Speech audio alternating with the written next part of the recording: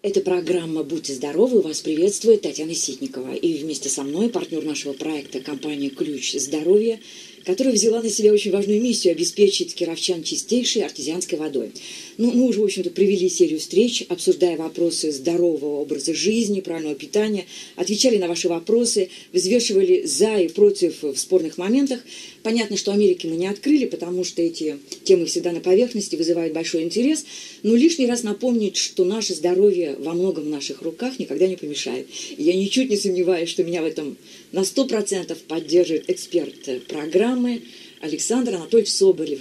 Александр Анатольевич, Добрый поддерживаете, прежде ваши Обязательно. титулы. Эндокринолог, главный врач Кировской клинической больницы номер 7 имени Юрловой, руководитель регионального эндокринологического центра. Ну что ж, продолжаем тему. Она вызвала интерес, масса вопросов на сайте. И хотя мы договорились, что сегодня обсуждаем главная тема сахарный диабет, вот медики бьют тревогу, тревожная статистика, начнем с почты. Святое дело ответить на вопросы. Договорились? Обязательно. Итак, первый вопрос. Евгения, женщина, вот я просто процитирую, что она написала. Подруги постоянно на диетах, овощах, ну есть такое женское помешательство, вы, наверное, в курсе сталкивались. А я обожаю мясо, не могу ни одного дня без мяса. Ну вот хочу и все, вот очень неправа, вредит здоровью. Отвечайте. Ну, не совсем, наверное, так. Да, истина посередине. Насчет того, что помешались на диетах, ну, само по себе у меня четкое есть определение. Само, даже само понятие диета, она немножко как бы вызывает у меня лично отторжение. Почему? Потому что она предполагает какое-то э, попытку семиминутно решить какую-то проблему. Достаточно кратковременную чаще всего. А всю жизнь на диетах не просидишь. Да, и, и здесь просто надо правильно питаться.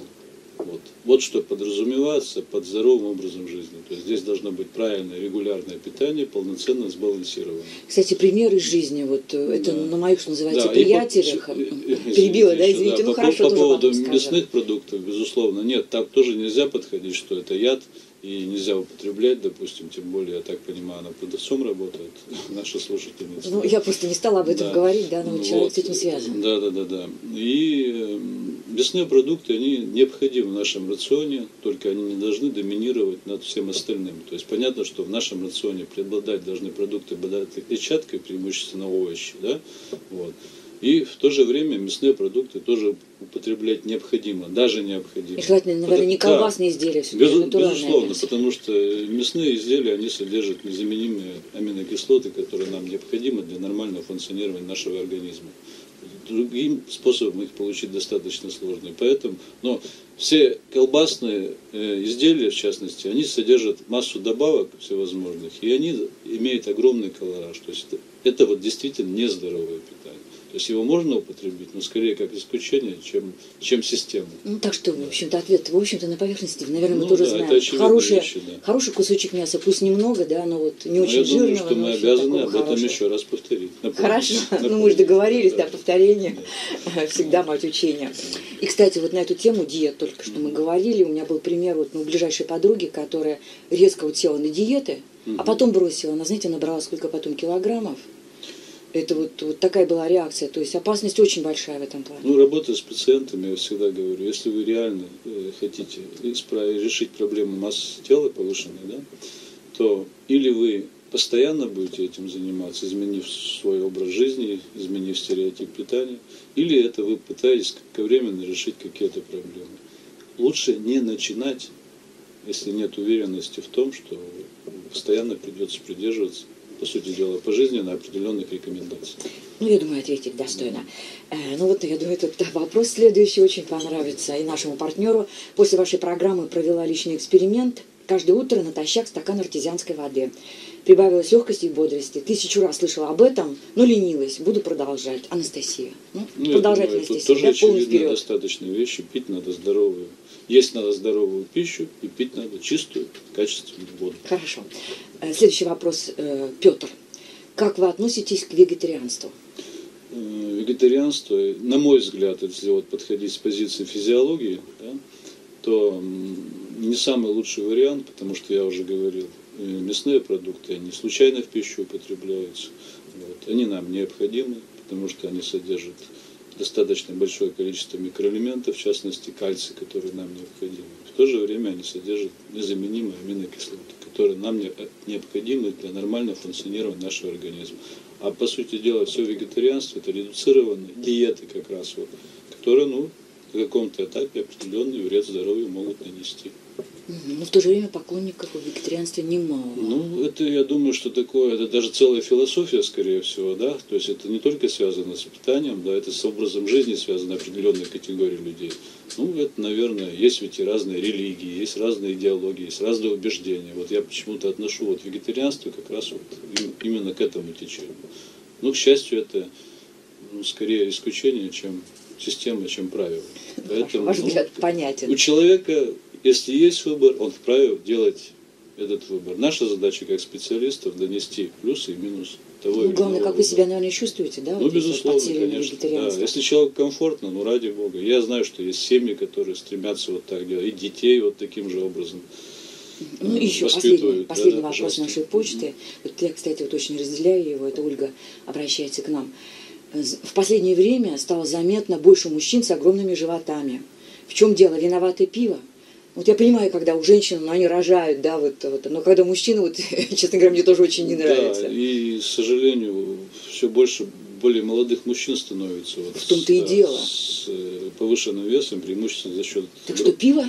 немалого живота. Пиво свой вклад носит, безусловно. Она еще, помимо всего, вносит вклад не только повышение массы тела, в ожирение, там еще на гормональный фон определенным образом влияет, потому что фитоэстрогены содержат женские половые гормоны, поэтому ну, мужчинам в больших количествах пива, конечно, не рекомендуется. Ну, а еще, мне кажется, образ позиций, жизни. С двух позиций. Диваны, да? компьютеры ну, конечно, и так конечно, далее. Конечно, вот. Э, неправильное питание, высококалорийное питание, в огромных количествах питания – вот, нерациональны, преимущество во второй половине дня. Часто это сопровождается как раз сопровождается употреблением пива, алкогольных напитков и малоподвижный образ жизни. То есть человек, современный человек практически, даже в бытовом плане он минимум движения себе позволяет. Это очень плохо. Ну, так что мужчина мотайте на ус. Женщина нравится красивые, подтянутые, мужчины спортивные. Ну, я думаю, это взаимно, да? Да, я думаю, взаимно. Александр а если, если, да, если, если женщина хочет, чтобы мужчина не имел этого живота, я думаю, что усилия должны прилагать оба. И тогда эффект будет более более значимой. Да, и тоже тема кекс и секс, наверное, Конечно. тоже подходящая безусловно, в этом безусловно, плане. Да, спасибо, спасибо. Ответили на вопросы почты, но сейчас к главной теме. Э, это было ваше предложение. Вы понимаете, вот, что вот в ваших руках статистика и сахарный диабет. Тревожная тема, тревожные цифры. Вот давайте начнем с них и назовем какие-то главные факторы, ведь это тоже связано напрямую с питанием, как мы только что сказали, ну, образом жизни. Да, я в двух словах хочу сказать, что все-таки сахарный диабет это неоднородное понятие. Есть две формы сахарного диабета, два Такой типа. Небольшой, да, два типа. Это небольшой. чтобы было понимание, да, вот на чем мы акцент будем в дальнейшем делать. Первое это первый тип диабета, менее распространенный. Вот это всего от общей заболеваемости в популяции сахарным диабетом составляет в пределах 80%. Это достаточно немного. Вот. И в то же время это диабет молодых, это аутоиммунное заболевание. Профилактировать его достаточно сложно, потому что оно вирус-индуцированное заболевание. И таких четких программ профилактики, к сожалению, на данный момент нет. В ближайшее время, по всей видимости, не предвидится. В то же время основная масса больных сахарным диабетом, так называемого второго типа сахарного диабета, это люди более зрелого возраста, которые заболевают чаще всего после 40 лет. Ну, сейчас это заболевание молодеет. Вот. И эти два типа, да, хочу сказать, объединяют только одно, то, что происходит повышение сахара крови. Все остальное немножко по-другому протекает. Я имею в виду в плане патогенеза, механизма развития заболевания. Ну, вы только что сказали, Но в плане, ослож... в плане осложнений молодеет. практически да, идентичные происходят процессы, при том при первом и втором типе диабета. Вот именно я хотел акцент сделать на том, что молодец второй тип сахарного диабета. И вот мы начали нашу передачу как раз о том, о повышенной массе тела, о малоподвижном образе дела, вот, э, жизни. Да? Вот это основные факторы рисков развития сахарного диабета. Второго типа, именно второго типа. И, ну, и действительно цифры достаточно высокие. Вот в нашей области более 46 тысяч пациентов, которые имеют нарушение углеводного обмена, в частности сахарный диабет, преимущественно сахарный диабет второго типа, основная масса. Вот. И с каждым годом мы немалое количество таких пациентов выявляем. И огромный плюс, что у нас сейчас работает программа диспансеризации. Им действительно, э, вот благодаря этой программе мы выявляем нарушение углеводного обмена, в частности сахарный диабет, у тех людей, которые даже, собственно говоря, не знали и не обращали внимания на минимальные симптомы, которые как раз показывали, что у них сахарный диабет. Вот давайте Это очень важно. на этом сделаем именно акцент. Да. Вот когда стоит вот, бить тревогу, как-то обратить внимание, провериться, вот, все ли в порядке, да? Ну, по большому счету мы можем чисто технически, да, ну, теоретически, знаю, самочувствие, тери, это, ну, основной да, критерий, да, благодаря которому мы можем поставить диагноз, это уровень сахара крови.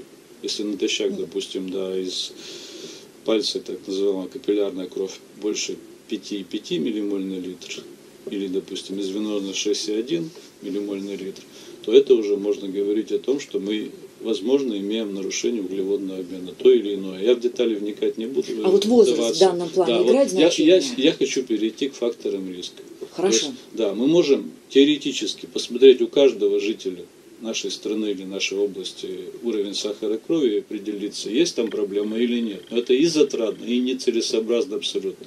Есть такое понятие, как факторы риска, которые способствуют тому или иному заболеванию. В частности, по поводу сахарного диабета второго типа. Первый фактор риска – это повышенная масса тела. Это основное. То есть у второго типа сахарного диабета основ... практически это все люди, которые имеют избыточный вес. Основная масса. Ну, Если стал резко набирать вес, это уже тоже да, тревожный фактор? Ну, в какой-то степени да. Но это не только связано с углеводным обменом. Вообще повышенная масса тела – это фактор риска многих заболеваний. И раковых заболеваний, онкологических, сахарного диабета, артериальной гипертензии, сердечно-сосудистой – это все один из факторов риска. Но для второго типа один из основных факторов риска – это избыточная масса тела. Второй момент – это наследственность. Если в наследовании в, э, в семье, да, у родственников имелся второй тип сахарного диабета, вероятность очень высокая. Вот. И, и еще один фактор – это возрастной фактор. То есть чем старше становится человек, тем у него больше вероятность того, что у него разовьется сахарный диабет. Это я основные факторы риска выделил, которые, в принципе, основное значение имеют.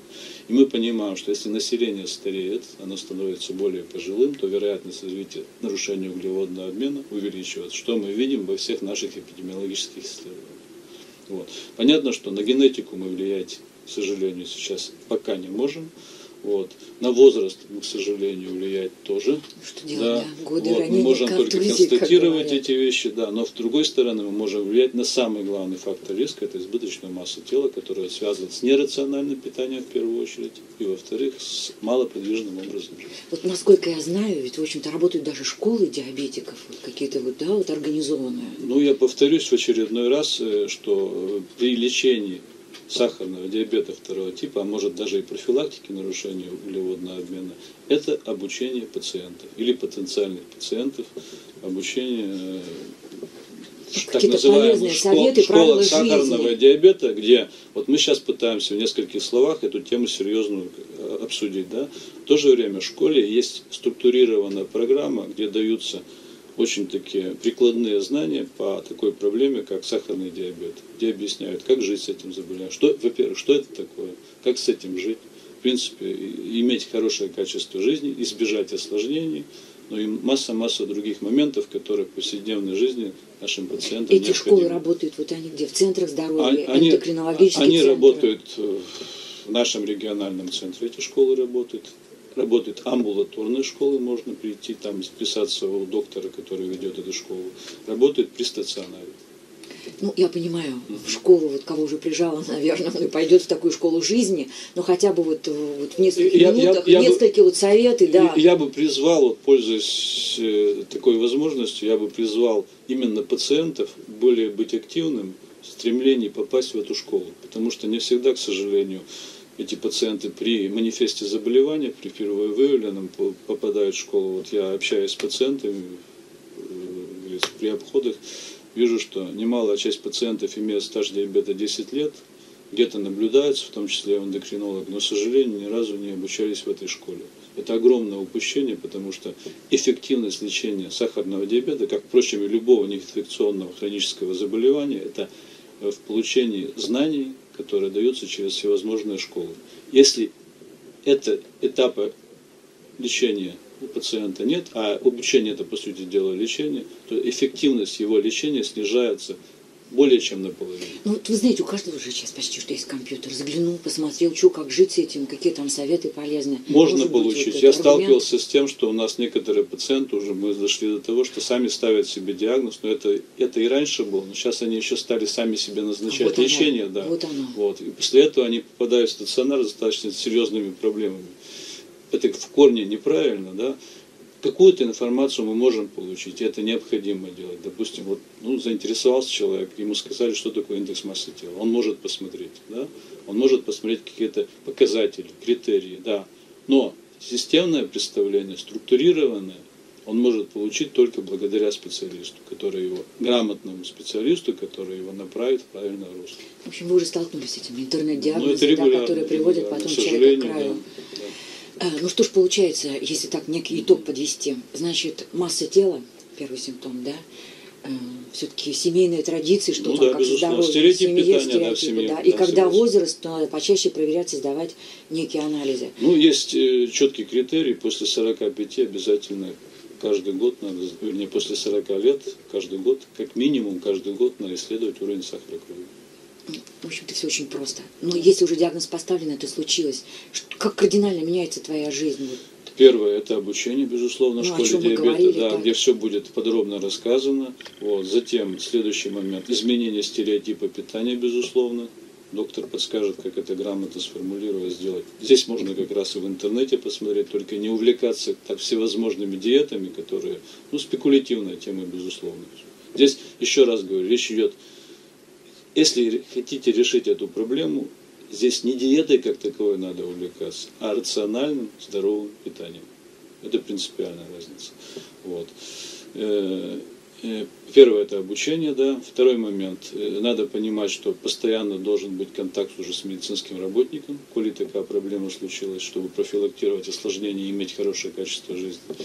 Следующий момент. Обязательно самоконтроль потому что полагаться только на исследования в стационаре или в поликлинике это недостаточно. А что, а что вы имеете в виду? Самоконтроль это имеется в виду исследование уровня сахара крови самостоятельно. Есть специальные приборы, которые позволяют это делать регулярно, то есть в течение суток в любое время можно исследовать уровень сахара крови.